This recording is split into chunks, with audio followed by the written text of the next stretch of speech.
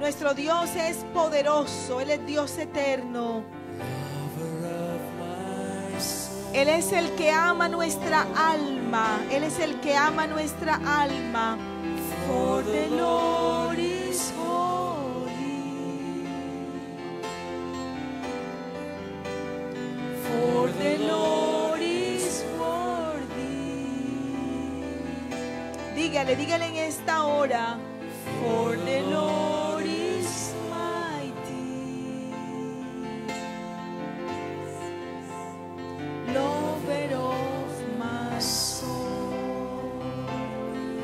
adoramos, te adoramos. For the Lord is holy. For the Lord is worthy. Nuestro Dios es santo.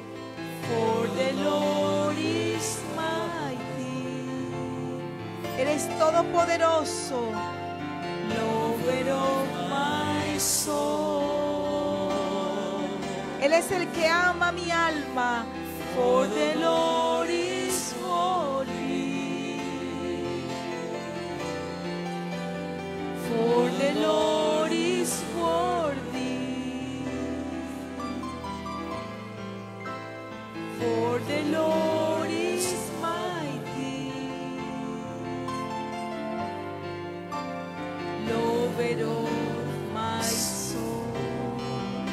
adoramos, te adoramos, te adoramos. For the Lord is holy. Tú eres santo, Señor. For the Lord is worthy. Él es santo, santo. For the Lord is worthy.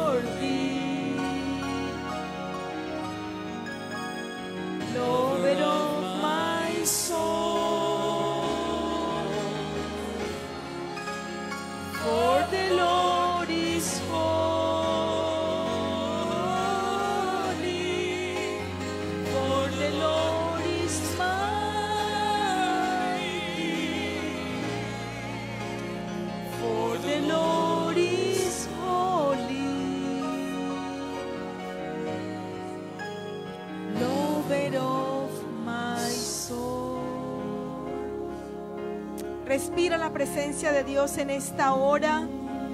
Cierra tus ojos, adórale, adórale, adórale en la magnificencia de su santidad. Exalta el nombre de Dios. Él es grande, Él es poderoso, Él es Dios temible. No hay nadie como Él en la tierra ni en los cielos. Él es el que merece nuestra alabanza. Él es el que merece nuestra adoración. Dígale cuánto usted le ama. Dígale, te amo Dios, te amo, te amo. Oh Señor, ¿quién en los cielos se igualará a Jehová? ¿Quién será semejante a Jehová entre los hijos de los potentados? Dios temible en la gran congregación de los santos y formidable sobre todos cuantos están alrededor de él. Oh Jehová, Dios de los ejércitos, ¿quién como tú, poderoso eres, oh Jehová? Y tu fidelidad te rodea. Tú tienes dominio sobre la braveza del mar. Cuando se levantan sus ondas, tú las sosiegas. Aleluya, gloria a Dios, gloria a Dios. Adorémosle, adore a Dios todo el día en su casa, adórele, adórele, adórele aún cuando usted tiene problemas, dígale Señor te amo, yo te alabo, yo reconozco tu grandeza, siempre tenga en su boca palabras de alabanza para nuestro Rey. Señor, nosotros amamos cantar para ti. Nosotros amamos, Señor, adorarte porque tú estás buscando en esta tierra verdaderos adoradores que te adoren en espíritu y en verdad. Gloria a Dios. Gloria a Dios. Aleluya. Buenas noches a todos los hermanos de la Iglesia Cristo Reina que nos están viendo por el Facebook Live. Muy buenas noches a los amigos, a la familia, a todas las personas que nos están siguiendo. Esto es un privilegio que Dios nos ha dado de traer este tema tan importante acerca del reino de los cielos para todos ustedes. El Espíritu Santo está hablando en este tiempo a su iglesia a la novia de Cristo y Él quiere que todos nosotros entremos al reino de los cielos, que vivamos las manifestaciones del reino de los cielos y que podamos invitar a otras personas a que entren, porque en cualquier momento nuestro rey aparece, amén. En cualquier momento nuestro rey viene por su pueblo y tenemos que prepararnos, gloria a Dios. Seguimos orando por todas las personas que están enfermas, estamos orando por todas las ciudades y los países para que Dios les dé sabiduría a los gobiernos y que también Dios fortalezca a todas las personas, que fortalezca el sistema inmunológico para que cada día seamos más resistentes a ese virus en el nombre de Cristo Jesús. Bueno, vamos a ir al tema número cuatro acerca del reino de los cielos y empezamos con la pregunta número uno y es, ¿cómo podemos identificar a otro ciudadano que pertenece al reino de los cielos?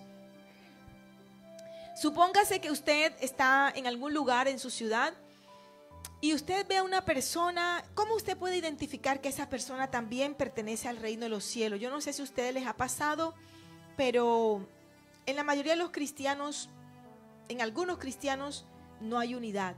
Cuando un cristiano que pertenece a una iglesia, un ejemplo, se encuentra con otro cristiano que pertenece a otra iglesia, en vez de amarse y en vez de alegrarse, lo que hay es una, como una envidia, unos sentimientos extraños, pero el Señor quiere que usted y yo identifiquemos a los ciudadanos del reino de los cielos para que mostremos amor, para que mostremos perdón.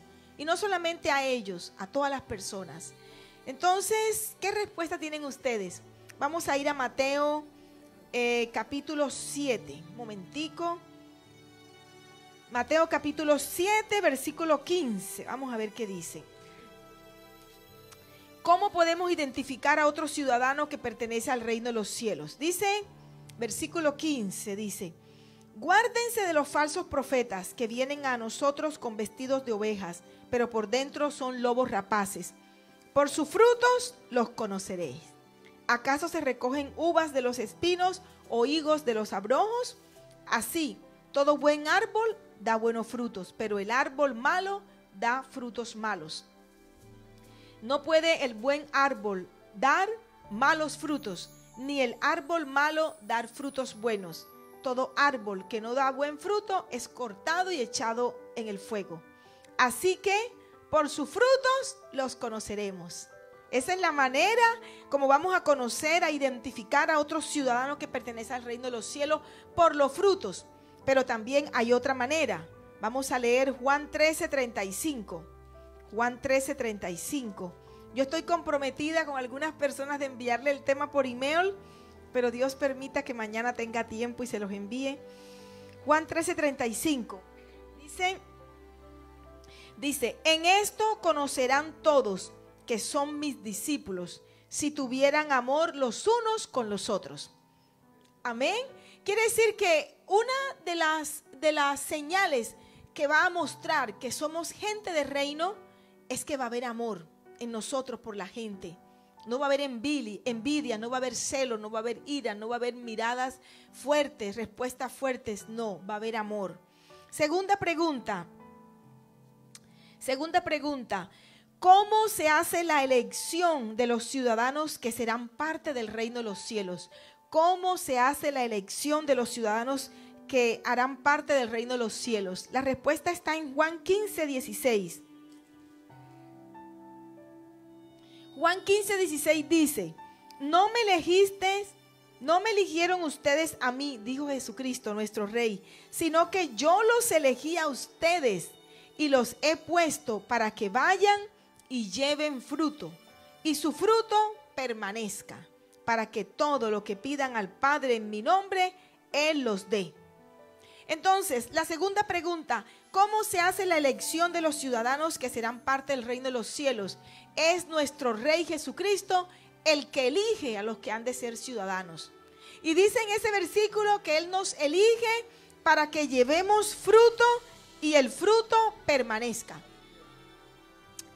Ah, no, yo estuve en la iglesia cuando yo era una niña y me retiré y ahora ya yo no voy a la iglesia. No es bueno. Usted, si usted entra a la iglesia, usted tiene que quedarse hasta el día que el Señor se lo lleve. No se puede estar retirando. El fruto debe permanecer. Y el fruto, luego vamos a hablar cuál es el fruto que Dios está esperando. Porque hay gente que, no sé, pero a veces malinterpretan la Biblia. El Señor está esperando de nosotros un fruto y eso lo vamos a estudiar después. Gloria a Dios. Segunda pregunta, tercera pregunta. Dice, en el reino de los cielos, la reputación del rey y su gloria es determinada por el bienestar de sus hijos. Quiere decir que el rey quiere que sus hijos estemos bien, porque si nosotros estamos mal, van a hablar del rey. Van a decir, mire, y eso que son cristianos y mira, no tienen ropa, y eso que son cristianos y no tienen comida, y eso que son cristianos y están mal. Nuestro rey quiere que nosotros estemos bien. Él no quiere que estemos enfermos. ¿Cuántos de ustedes se acuerdan que dice la Biblia que cuando el pueblo de Israel salió de Egipto, ¿qué le dijo Dios a Moisés? Ninguna enfermedad de la que había en Egipto les van a dar a ustedes. Ustedes van a estar sanos todo el tiempo, porque nuestro rey está comprometido con nuestra salud, con nuestro bienestar. La pregunta número tres es, ¿en qué parte de la Biblia, en qué parte de la Constitución nuestro rey manifiesta el deseo que él tiene de que nosotros estemos bien.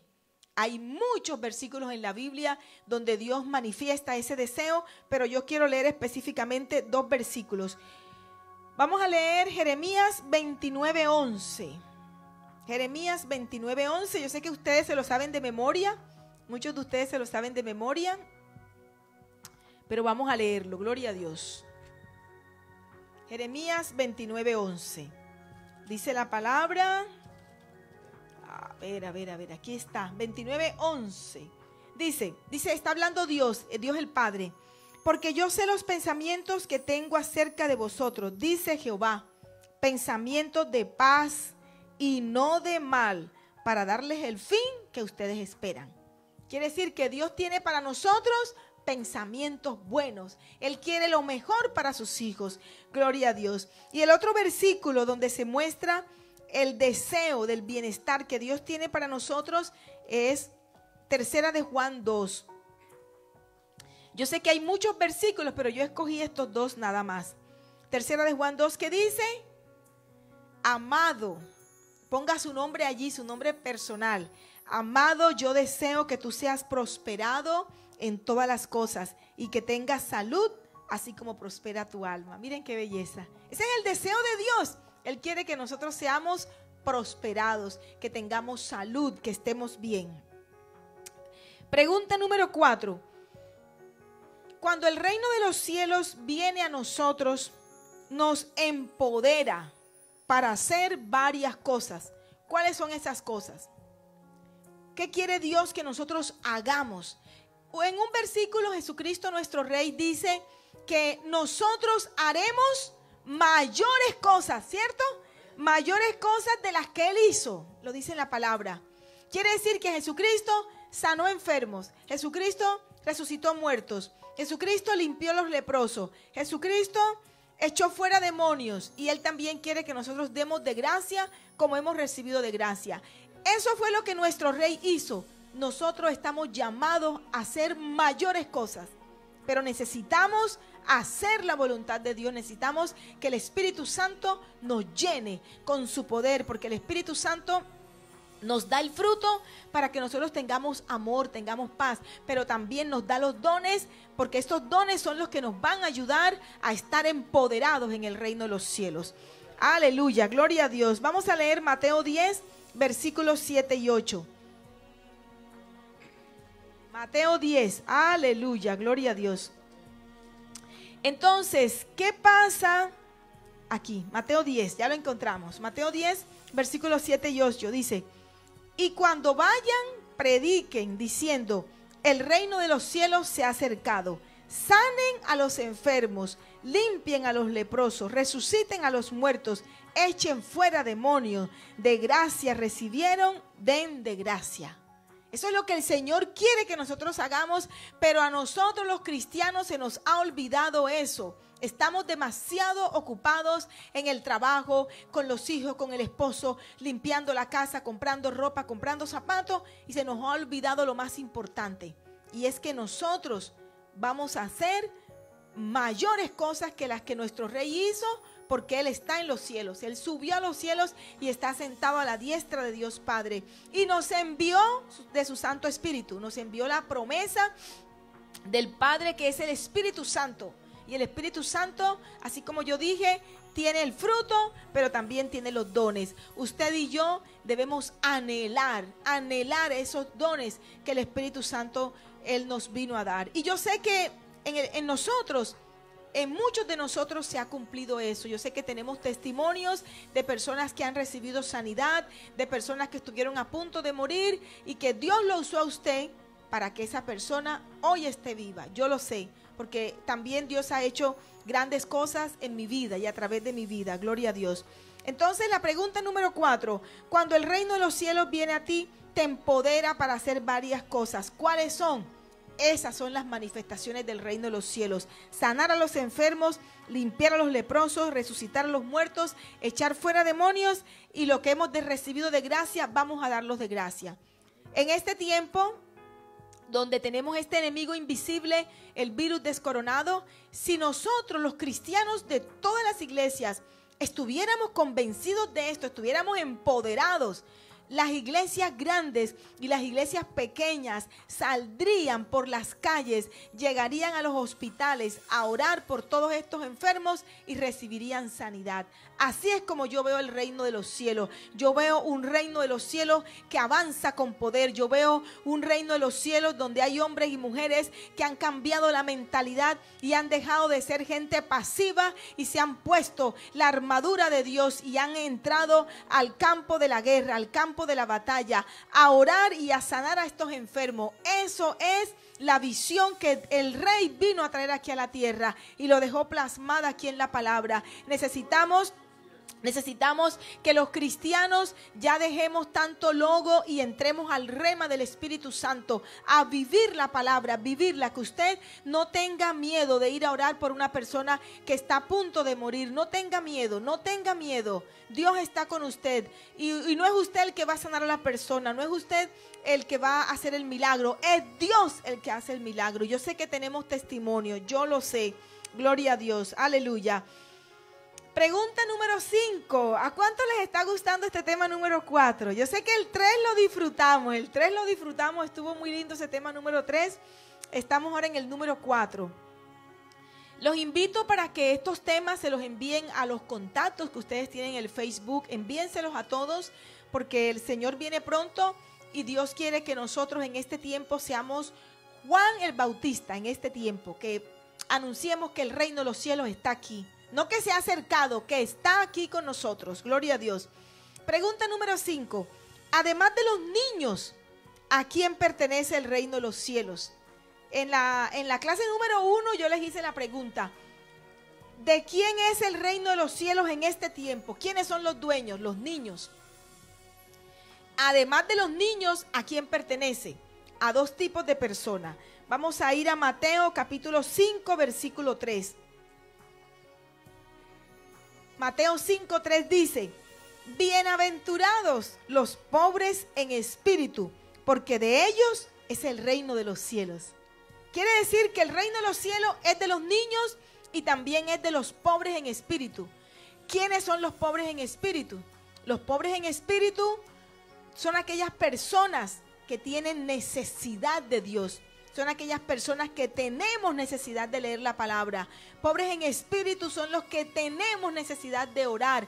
Tenemos necesidad de adorar a Dios. Necesitamos hacer un ayuno semanalmente. Necesitamos ir a una vigilia. Pobres en espíritu. ¿Y quiénes son los pobres de espíritu? Son las personas que no tienen metas en la vida. No tienen metas, no les importa trabajar, andan por ahí por la calle, eh, no tienen casa donde vivir, pobres de espíritu. De pronto también muchos de ellos son gente profesionales que no tienen ningún tipo de aspiración, no les importa la vida, ¿verdad? Pobres de espíritu, pero de los pobres en espíritu es el reino de los cielos. Entonces el reino de los cielos pertenece a los niños, pertenece a los pobres en espíritu y también pertenece a los que padecen persecución por causa de la justicia. Vamos a leer Mateo 5, 10. Allí mismo está Mateo 5:10, dice, bienaventurados los que padecen persecución por causa de la justicia, porque de ellos es el reino de los cielos. El reino de los cielos es de los que padecen persecución por causa de la justicia. La justicia de Dios es Jesucristo. Hay gente que es perseguida por predicar de Cristo. Por ejemplo, si usted se va mañana para algún país musulmán, no, Dios me envió a un país musulmán. Bueno, prepárate porque te van a perseguir allá. Te van a perseguir por la justicia de Dios que es Cristo y serás bienaventurado en, muchos, en, muchas, en muchas ciudades, en muchas ciudades y en todas partes yo pienso que atacan a los cristianos, nos atacan, nos dicen que, que somos aquí, que somos allá, pero no importa, no importa, porque entre más nos persigan, más bienaventurados somos y el reino de los cielos nos pertenece. Gloria a Dios. Ahora viene una pregunta que a mí me gusta mucho, me encanta esta pregunta, porque esta pregunta me pone a pensar que necesito estar dentro del reino de los cielos todos los días. No puedo dar motivo para que por un instante yo me salga. Pregunta número 6. ¿Quiénes no entrarán al reino de los cielos? ¿Quiénes no van a entrar? Vamos a ver. Eh, Lucas 9:62. Vamos a ir a Lucas 9:62.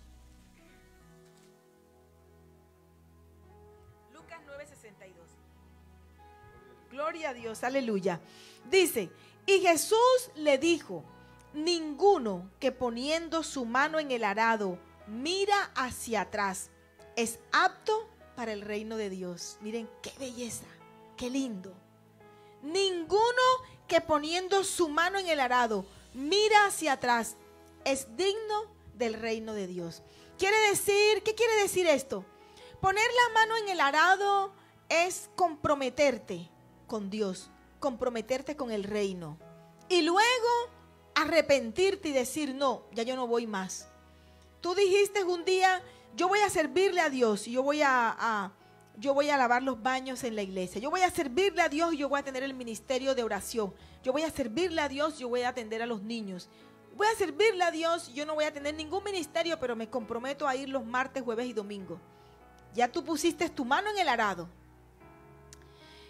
no puedes retroceder, no debes retroceder. Porque si tú un día sueltas eso que tú escogiste por algo material y lo sueltas por algo, el Señor dice que no somos dignos de Él.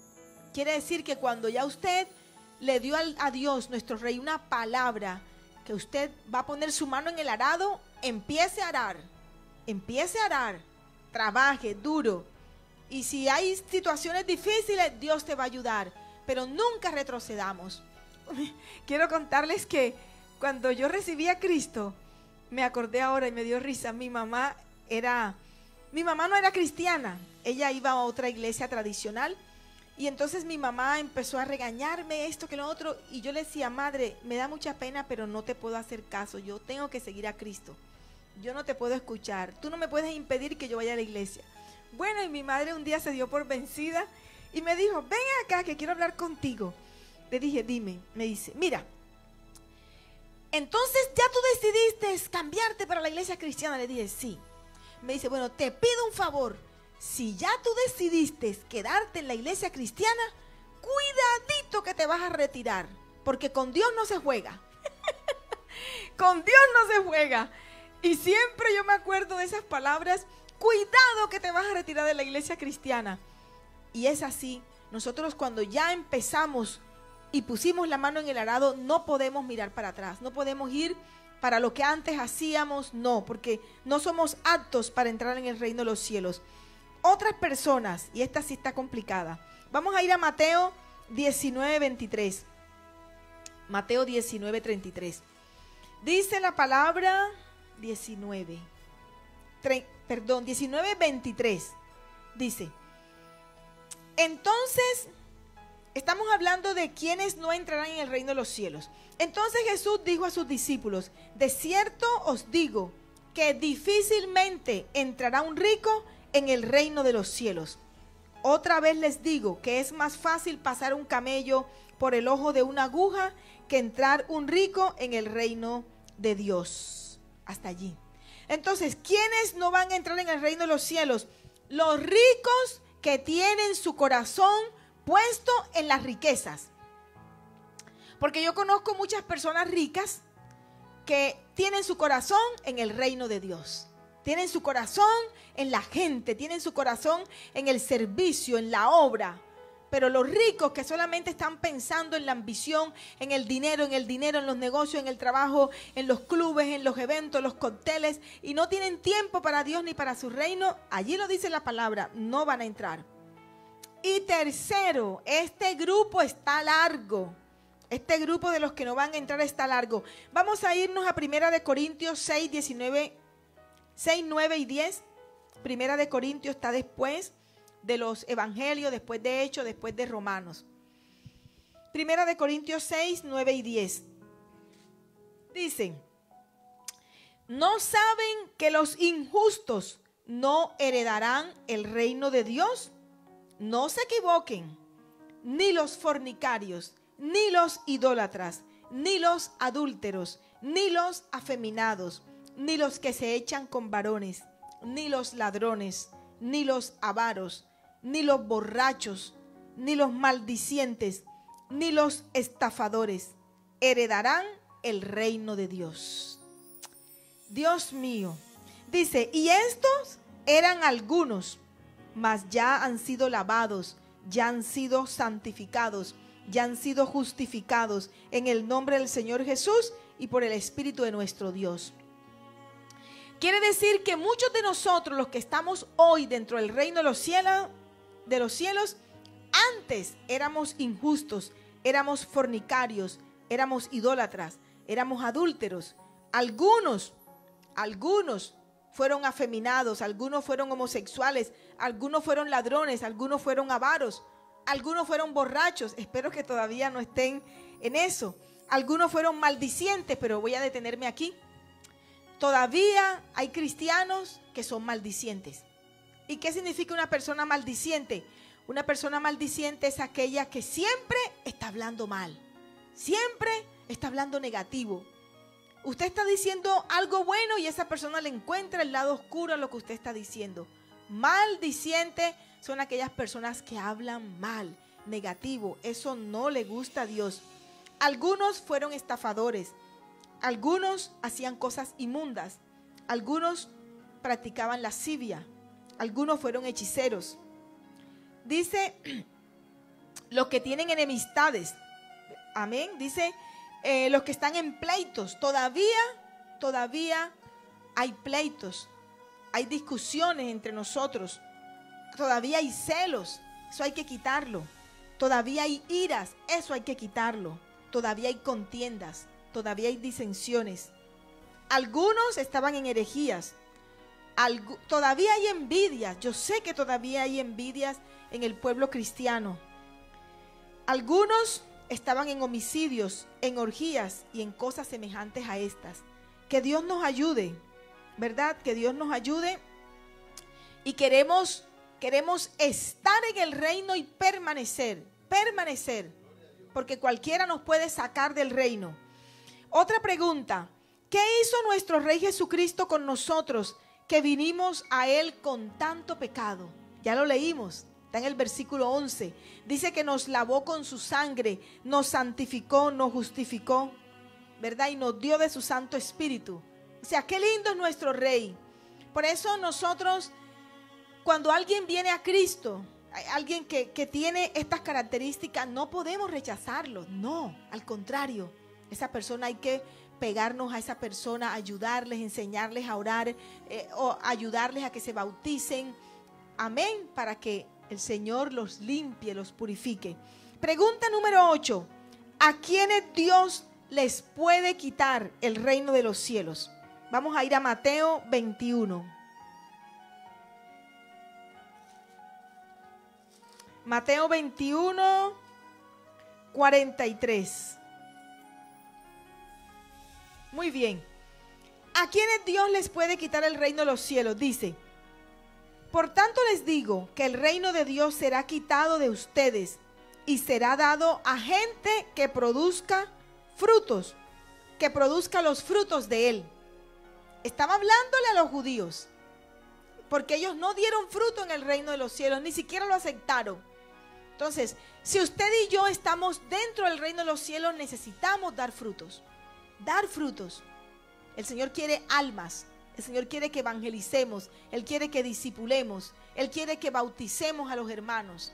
Gloria a Dios. Última pregunta, ya terminamos el tema número cuatro.